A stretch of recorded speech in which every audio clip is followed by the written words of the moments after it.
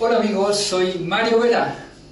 Hoy vamos a hablar de la importancia de la guardia cuando enfrentamos a un oponente. ¿Ya? Haga siempre una guardia alta y cerrada en jaula.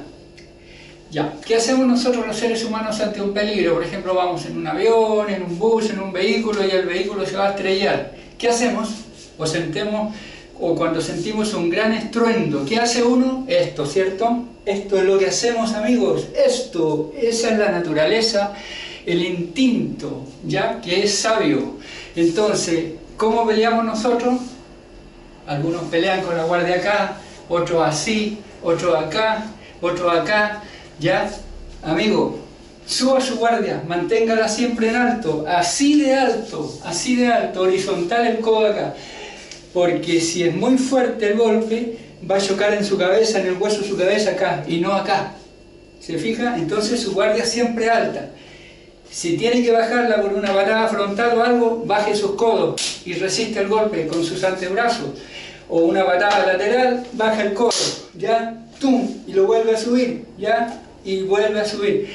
Entonces está siempre protegido, nunca baje su guardia. ¿Qué pasa? Han visto internet, todo lo hemos visto. Peleas callejeras, por ejemplo, por la desprotección o profesionales como el Vale Todo, que les doy mi admiración porque son guerreros de verdad. Esa es la verdadera realidad. Una pelea de Vale Todo. Entonces, también ellos caen, no cao, por el tema de la guardia cuando se descuidan, ¿cierto? Baja un poco la guardia, patada al suelo y en la calle lo mismo, ¿ya?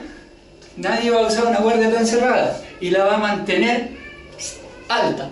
Entonces, el problema es eso. Lo primero, la postura y la guardia. No se olvide. Lo otro, los puños.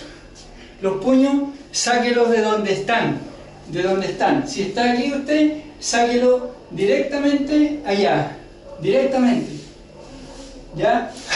Ahí. Ahí y vuelve. Vuelve al lugar, la mano, no haga amagos. Que no haya diferencia entre ir y volver. Sáquelo catapultado de donde está.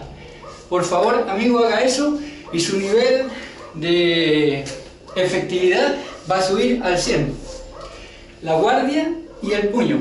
¿Ya? El puño va y vuelve. Ahora, no se olvide, por supuesto, de rotar las caderas y, y el hombro. ¿Ya? No se olvide de eso. Y vuelve la guardia. Va y vuelve. Lo otro, sus armas son sus nudillos, sus codos, sus rodillas. Y también la zona media para recibir algún tipo de castigo y asimilarlo. Ya, los nudillos son importantes, amigos. Ya, trate de, de practicar. Primero apoyándose sobre el suelo y luego puede empezar a golpear madera, después cemento, después metales. ¿Ya? De esta manera, ahí.